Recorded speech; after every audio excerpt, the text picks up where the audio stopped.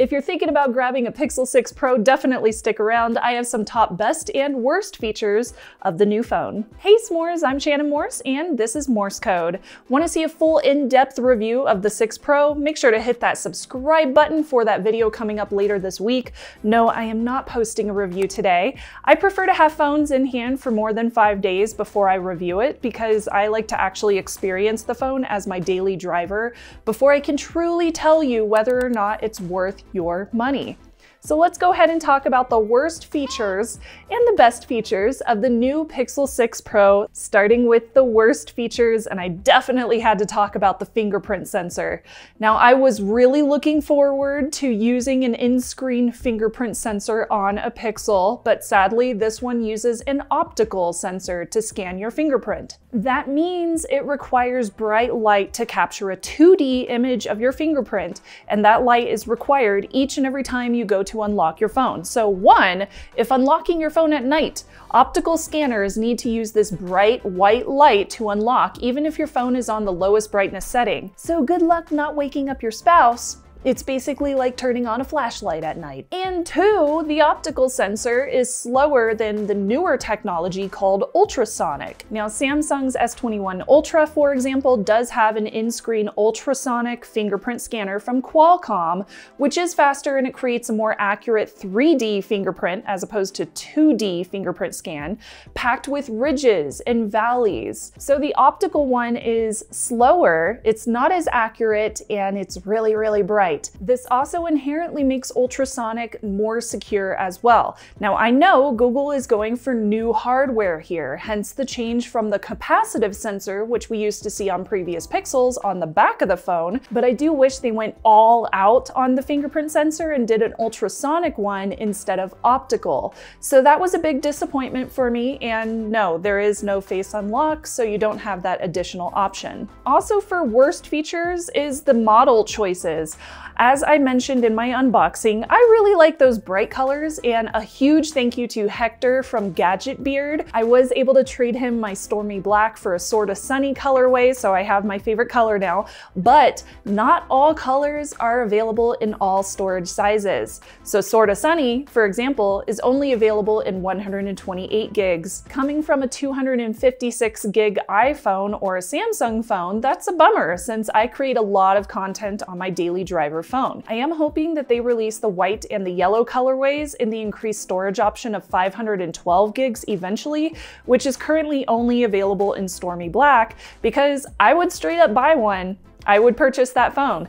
Give me pretty and give me prosumer at the same time. Please phone manufacturers, I want pretty and prosumer. Now I'm also gonna get into my favorite features as well, but I did wanna say a huge thank you this week to my newest patrons, including John, Dexter, Tori, Kirk, and Asuna over on Patreon. That's patreon.com slash Shannon Morse.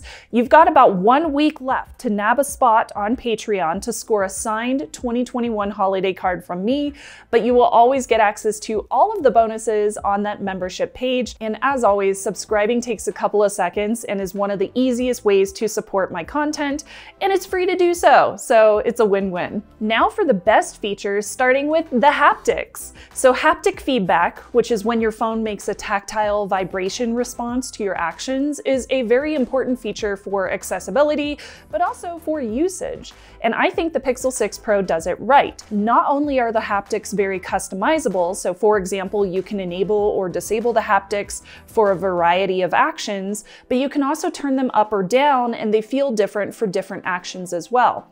I don't feel like the haptics are too extreme to the point where you can like literally hear the vibration, but I also don't think they're so subtle that you couldn't recognize the feedback. It's a great middle ground and something I'm very happy with. Also, Assistant just keeps getting smarter. So for example, on the Pixel 6 line, if you call a toll-free number number and there's an automated voice detected, Assistant will start transcribing the voice on screen and it will show you menu options if it's a phone menu tree. Then you can just tap the menu item that you need. That's great if it's a long menu because you won't have to memorize all the different options or listen to them again and again in order to find the option that you need. You can also skip saying the trigger phrase, which is this, for specific actions. So an example of this would be if you need to turn off an alarm, you could just say stop or snooze. For incoming calls, you could just say answer or decline, and both of these can be disabled in the settings as well for privacy. At a glance is this assistant feature that will show you important information right on your lock screen and the home screen like weather, commuting times, travel itinerary details, or calendar reminders. Mine usually just shows me calendar meetings and the weather because I never leave my house because I am a hobbit. The only time I leave my house is to go to parties.